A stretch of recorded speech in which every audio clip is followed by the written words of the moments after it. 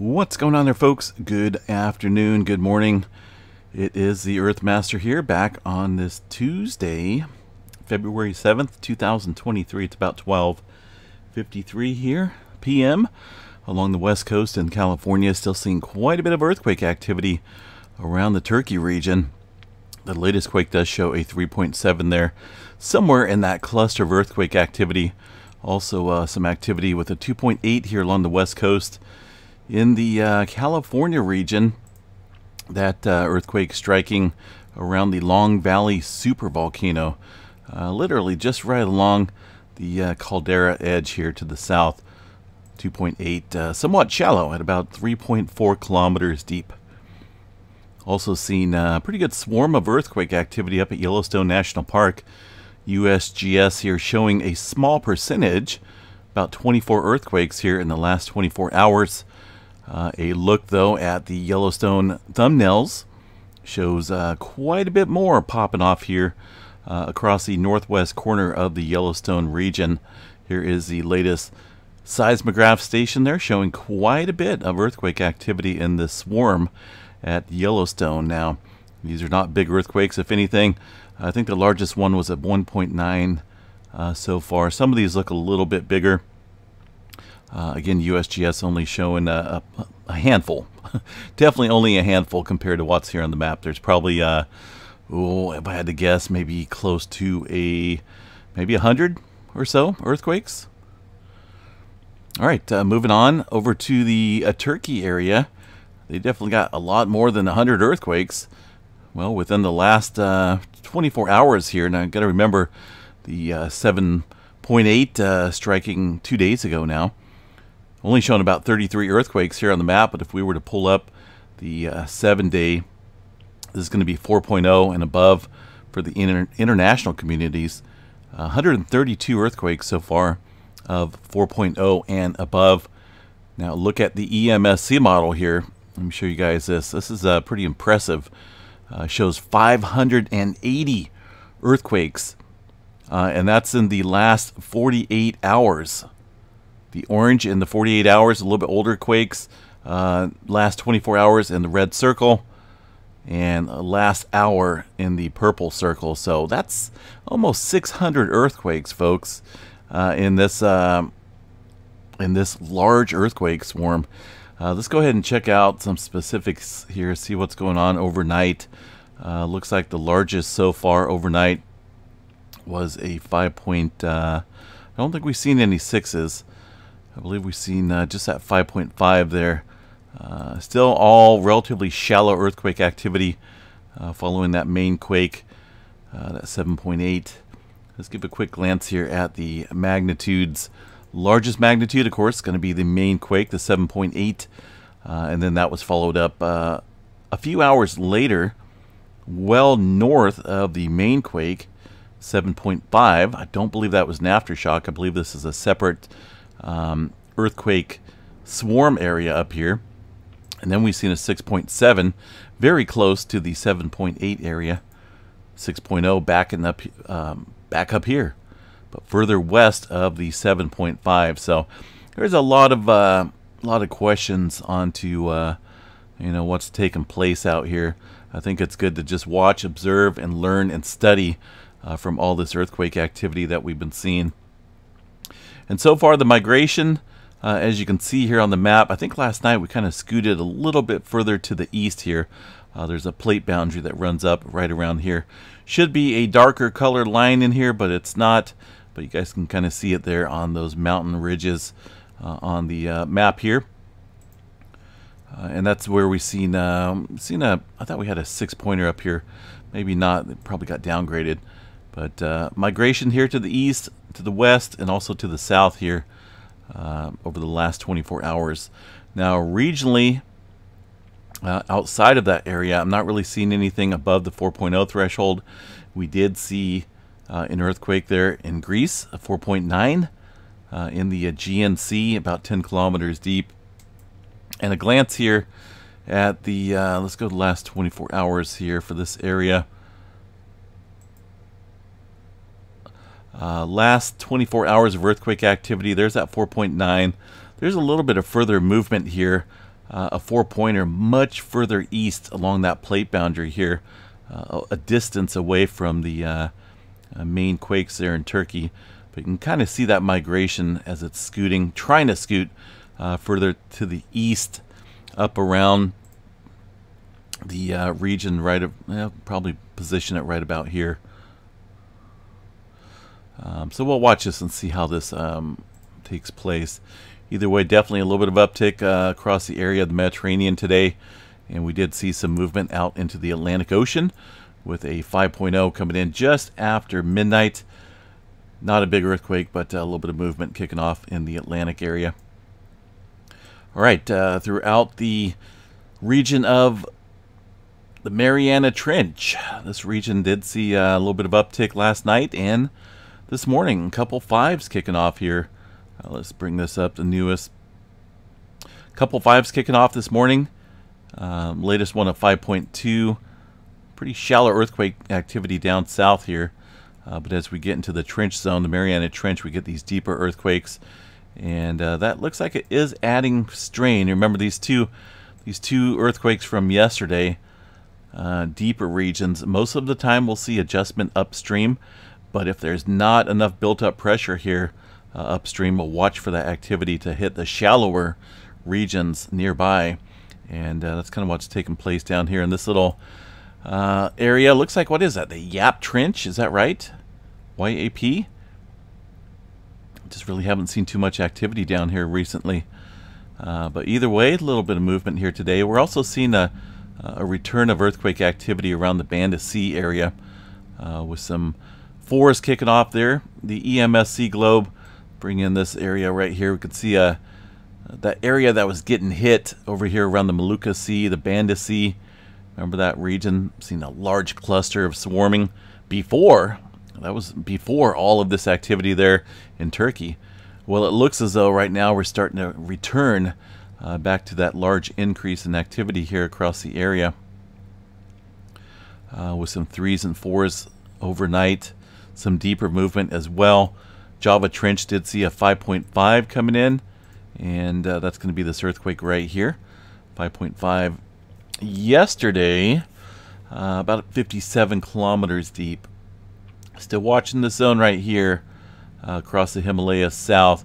Uh, but again, um, you know, I think the main focus is what's next after all this activity. We'll continue to watch that and report on it. Uh, South America, a little bit of activity across the region. Uh, latest one shows a 4.2 down into the Peru Chile Trench, 132 kilometers deep. Uh, New Zealand, uh, New Zealand area really hasn't seen too much activity. South here, uh, we did see a 4.8 into the Tonga Trench up here, just south of Fiji. 600, top that one, 614 kilometers deep for that 4.8 uh, in New Zealand area. I just checked the GeoNet servers. There's not a whole lot popping off down there. Uh, there's some of that deeper activity there into the Tonga Trench, and some older movement looks like uh, into the Kermadec Islands area. Um, Hawaii, see what's going on in the big blue Pacific. Not a whole lot, very spotty.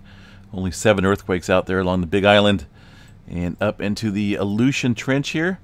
Uh, getting a little bit of activity across this area with uh, some threes and fours since midnight. All four of those earthquakes there um, just after midnight.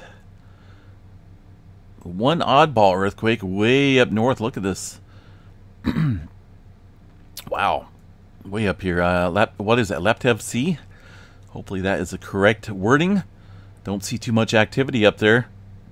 4.6. Historical data, though, does show uh, that we do get uh, some earthquakes in those little circles out there historically since about 1900. All right, uh, let's shoot over here to um, the west coast. Of course, we did have uh, that activity coming in in the last hour around the Long Valley supervolcano. Um, I don't see any major swarming going on yet. Uh, might be something to watch here. 2.8, 3.4 kilometers deep. And uh, some activity up and down the um, San Andreas Fault here. This is mainly along the creeping segment, it looks like. We're just off of there. Not uh, some reason it's not picking up the uh, the fault systems here. Let's see what's going on. should be right. Um, U.S. faults. Yeah, I don't know. Kind of weird.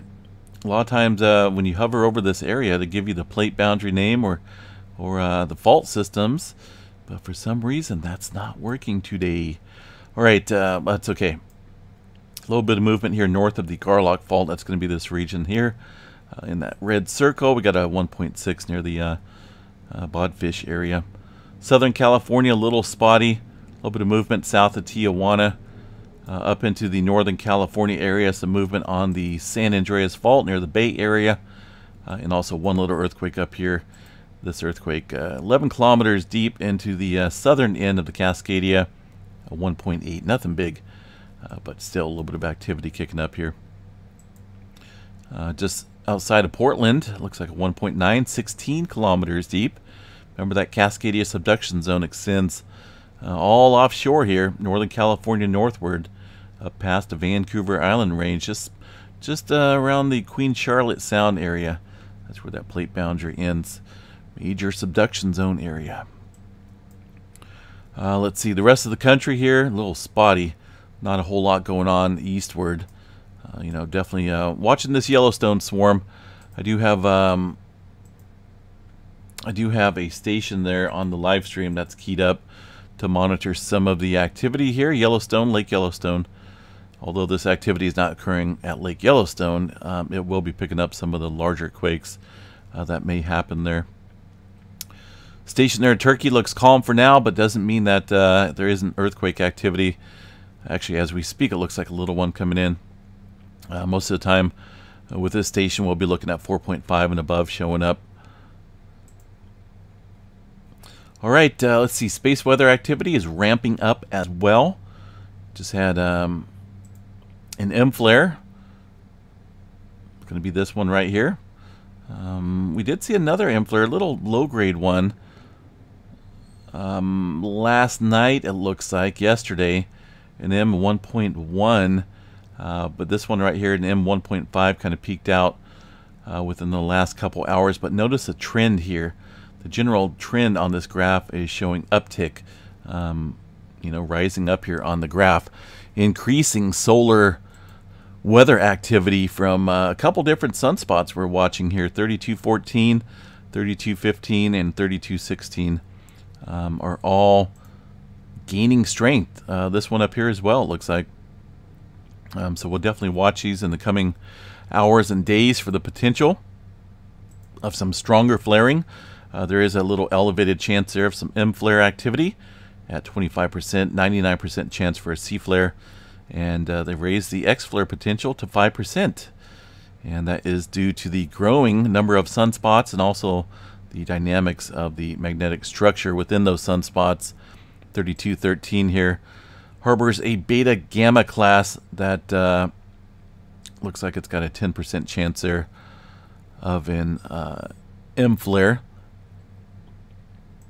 AR 3213 It's going to be this region up here. The newest image does show the spots getting larger, more complex, very close structure here.